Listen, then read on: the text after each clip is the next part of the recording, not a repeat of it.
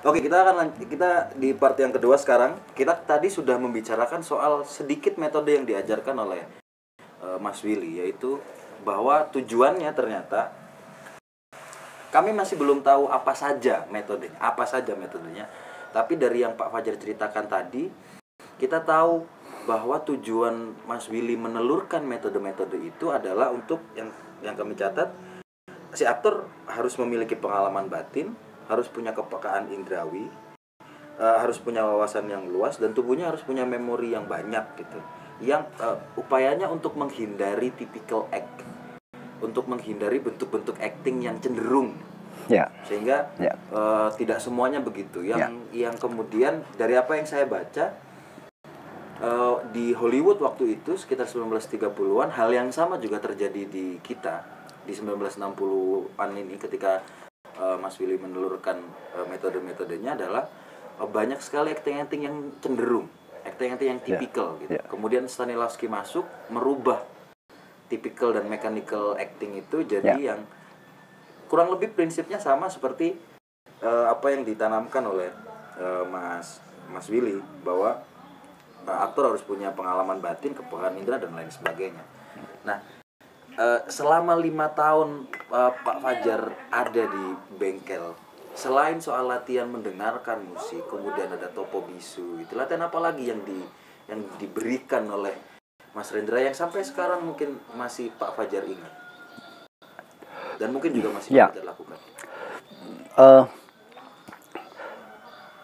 pergaulan artinya apakah itu disebut kolaborasi, apakah itu hubungan guru dan murid itu pasti memiliki satu unik ada unik keunikan tersendiri. Bahkan barangkali eh, Mas Yuri dengan murid-muridnya yang yang apa yang sebanyak itu juga approach atau pendekatan atau cara apa ya cara menstimulasinya itu beda-beda. Tetapi kalau eh, kemudian saya memahami itu semuanya adalah bagaimana Mas Willy mampu eh, mengangkat atau berusaha untuk meningkatkan eh, kadar eh, kemampuan eh, apa eh, apa eh, maaf nih Iya, iya. ada ta- Ini ada sebuah tadi malam. teman-teman ya. menonton bengkel Ya. teater Rendra yang ya. tebal sekali ya. ya Sebenarnya juga jarang didapatkan hari-hari ini. Kalau ada yang punya beruntung sekali kalian bisa memiliki buku itu. Jadi itu buku yang menjelaskan soal bengkel teater Rendra secara hampir utuh ya. Pak? ya ya betul sekali jadi eh, kita memiliki yang disebut ambang batas kemampuan Oke. ya Oke. Maksudnya? Jadi eh Mas Willy tahu kemampuan katakan kemampuan saya atau kemampuan apa eh, teman yang lain di dalam eh, mempersiapkan sebuah agenda pentas atau pemeranan. Eh, nah, ambang batas inilah yang kemudian oleh Mas Willy coba digedor untuk menjadi meningkat sebagai sebagai apa sebagai eh, contoh konkret adalah kejadian ketika senior senior saat itu ya, saya belum senior saat itu senior senior bengkel kemudian hijrah banyak hijrah ke Jakarta bengkel minus pemain ya handal sehingga kita ketika mementaskan Oedipus Sang Raja, peran Teresias ini tinggal saya dan Adi Gordi dan Pak Ratmo yang diartistikan. Jadi Adi Gordi sudah dapat peran Kreon. Nah, yang menjadi Teresias, Pendeta Agung, siapa? Pada akhirnya jatuh kepada saya. Sementara Mas Willy tahu kemampuan saya kan. Ya. Sehingga eh, saat itu cara dia apa eh, meningkatkan atau menggedor ambang batas kemampuan itu eh, saya harus melaksanakan eh, ritual tutup mata selama tiga hari tiga malam.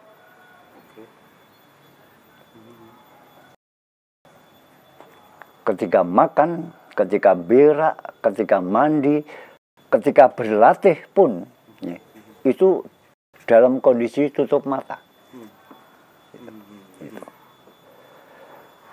Eh, saya nggak saat itu saya nggak tahu apa apa maksudnya kan. Nah, nah kalau kalau kemudian juga barangkali kalau ini di apa di di tradisi spiritual Jawa orang bisa misalnya mati pati geni tiga hari tiga malam. Orang poso berakah poso nyirik ini nyirik itu dan segalanya. Itu kan sebenarnya ke arahnya sebenarnya dalam apa? Dalam menggedor atau meningkatkan ambang batas kemampuan. Nah itu dilaksanakan pada saat itu dalam metode bagaimana mempersiapkan saya untuk bisa memainkan Teresias. Ya. Itu terjadi dan betul-betul uh, ya meskipun pada kenyataannya ya saya saat itu apa sih artinya enggak enggak apa gitu jadi uh, badannya lebih kecil dari Mas Rinda sendiri yang memerankan Oedipus dan segalanya gitu. Nah, tapi dia juga katakan uh, menjadi yang mengejutkan ini ya ketika tampil hanya apa uh, disko apa debat gitu ya. Ketika debat itu tiba-tiba tahu-tahu tidak pernah selama latihan. Dia sebagai memerankan audisi itu jongkok. Hmm. ini ini ini yang apa?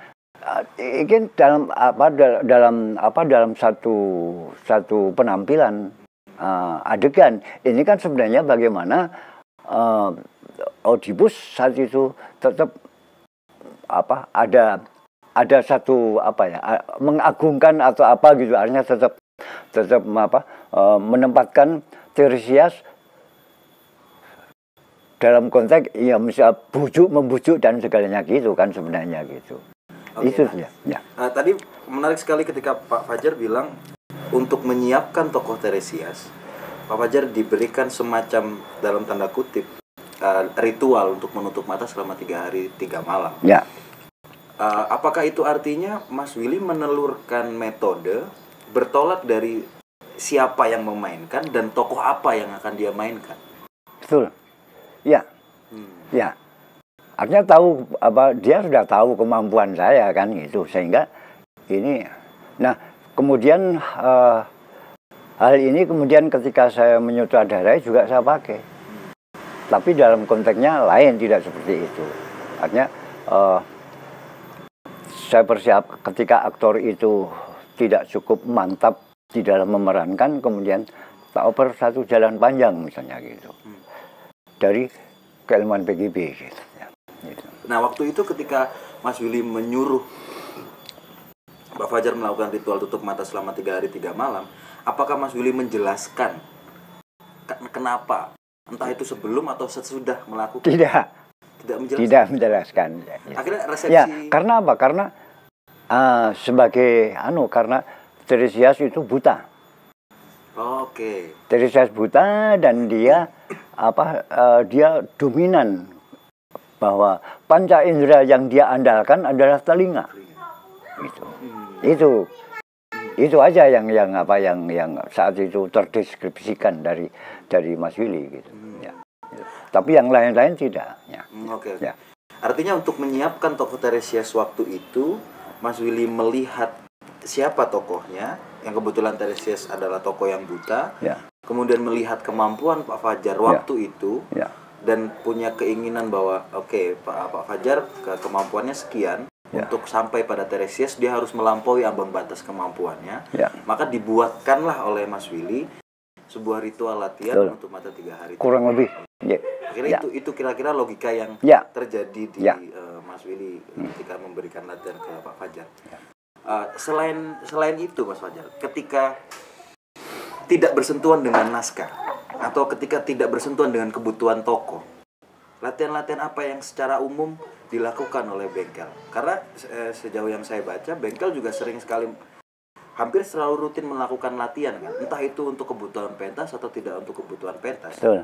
bahkan malah terkadang kayak kayak bebop misalnya muncul karena proses latihan Betul, yang ya. dicatatkan Hmm. kemudian terus kemudian dijadikan sebuah pertunjukan nah ketika sedang tidak dalam proses eh, eh, eh, project sebuah naskah latihan apa yang diberikan Mas Willy Eh, tetap temanya yang tadi. Hmm. Artinya apa? Bagaimana mempersiapkan aktor atau mempersiapkan anggota bengkel teater itu menjadi siap dalam berbagai kondisi. Ya, artinya siap respon, merespon atau menanggapi situasi. Ya.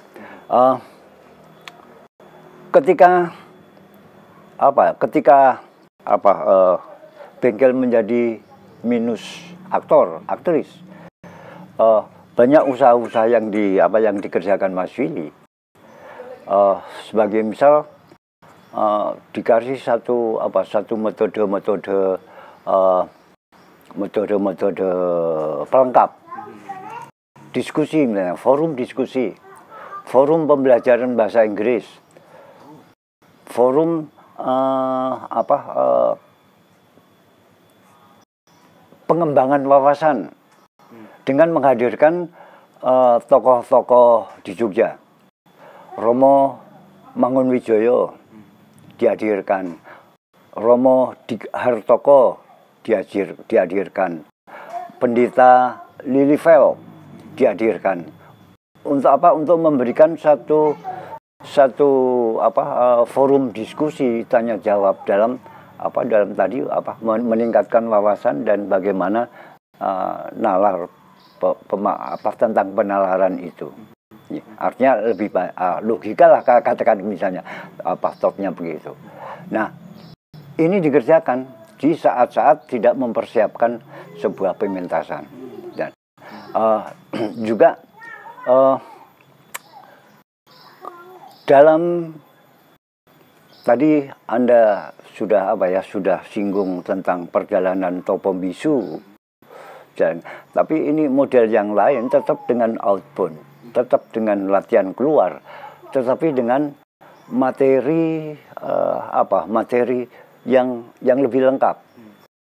Artinya di situ eh, kita bahkan tidak hanya eh, lebih panjang. Jadi pernah dari bengkel teater bermalam-malam tidak cukup hanya satu hari satu malam gitu tapi sampai satu minggu. Mengadakan satu pengembaraan. Dari bengkel kemudian singgah eh, di Sendang Kasihan ya, tempat latihan banyak hal di sana itu. Dari Sendang Kasihan kemudian ke Selarong di atas gua Selarong itu. Dari Selarong kemudian eh, pindah menyeberang Progo sampai kepada Panggung ya, di makam Eyang Panggung disebutnya saat itu. Dari Eyang Panggung kemudian ke selatan ke Pandansimo dari Pandansimo kemudian apa eh, berakhir di Sorobayan. Jadi perjalanan melingkar begitu ya, sampai saat hari terakhir itu eh, Mas Rendra sukaran untuk berjalan. Karena pahanya lecet. Nah, pakai jin kan? Pakai jin sehingga jalan kaki panjang itu. Ya berakhir di rumah saya. Rumah saya dulu kan di Sorobayan. Gitu, di sana. Nah sementara di di setiap pemberhentian itu Mas Willy bukakan apa eh, karya-karya para maestro lukis dunia di situ. Ya termasuk misalnya apa karya Mas eh, Pak Rusli misalnya. Kemudian suruh menikmati suruh mengamati kemudian ada satu dialog dan segalanya gitu. Jadi apa ya, kemudian juga apa eh, para pelukis maestro dunia yang lain. Tapi juga eh, kemudian Mas Willy uh, apa uh, bicara tentang uh, karya sastra. Yang saat itu kalau nggak salah uh, semacam apa karya-karya haiku atau apa gitu nih gitu yang yang hanya singkat-singkat gitu. Nah itu di samping tentunya apa uh, dalam setiap pemberian itu ada materi-materi yang langsung diberikan. Nah sayang saya tidak tidak apa tidak mengingat materi apa saja di setiap tempat itu kemudian itu. Tapi kurang lebih itu. Jadi ada materi-materi yang yang apa yang uh, disampaikan Mas Willy. Nah ini sebenarnya untuk apa? Untuk bagaimana uh, memberikan satu kelengkapan kesiapan cara pandang para pemainnya terhadap kehidupan ini kan gitu. Nah kalau misalnya kemudian kita kita kita bagi bahwa kebutuhan keaktoran ada pada empat hal yaitu uh, tubuh, suara, pikiran dan perasaan. Ya ya. Uh, kalau misalnya uh, dalam empat kategori itu, misalnya kita mulai dari uh, uh, olah tubuhnya dulu. Uh, waktu itu ketika ketika uh, Pak Fajar di bengkel, olah tubuh apa aja yang dilakukan oleh uh, yang diberikan oleh Mas Willy, yang diajar yang dilatihkan bersama hmm, oleh ya, Mas Willy. Misalnya dari olah dari tubuh dulu. Mm -hmm. Di samping, ya, uh, di samping tadi yaitu gerak indah tadi ya, bergerak merespon musik gitu. Uh, berikutnya juga ada uh, artinya juga masuk dalam ini, dalam saat-saat kosong program gitu ya. Ada dilatih juga yang disebut uh, gerak nurani. Gerak nurani. Gerak nurani adalah satu apa satu pelatihan yang berangkat dari suasana meditatif. Kemudian uh, suasana yang tadi saya sebutkan non verbal itu itu kemudian diwujudkan dalam gerak. Nah biasanya ini uh, harus harus jujur, ya. harus uh, harus ikhlas, uh, kemudian juga menangkap impuls atau dorongan dari dalam biasanya itu kemudian dimulai dari gerak kecil-kecil. Uh, tapi dalam prosesnya adalah itu seluruh tubuh menjadi tergerak. Sampai pada akhirnya uh, itu gerak nurani itu. Yang meskipun pada akhirnya itu kemudian dilarang. Kenapa dilarang? Dilarang nggak boleh dilakukan. Yang melarang? Suhu saat itu. Oh. ketika beng apa gerak apa uh, gerak silat masuk nah itu tidak boleh lagi dilatih. Kenapa ini menarik? Ya. karena apa? Karena ketika ada faktor bahayanya. Bahaya yang pertama adalah bahaya fisik. Ketika terjadi benturan. Nah saya pernah mengalami itu. Betul-betul mengalami ketika uh, di dalam gerak nurani bareng-bareng itu. Ya. Nah sayang saat itu semuanya terlibat. Jadi tidak ada yang menjadi pengamat, tidak ada yang menjadi penyelamat. Ya. Jadi uh, ada almarhumah Mbak Narti itu punya dorongan untuk jalan merambat di tembok dan langkah demi langkah. Kemudian ada yang lain dorongan yang saya saat itu mendapat dorongan untuk tidur merapat ke tembok. Nah itulah terjadi kelasnya. Apa uh, satu satu saat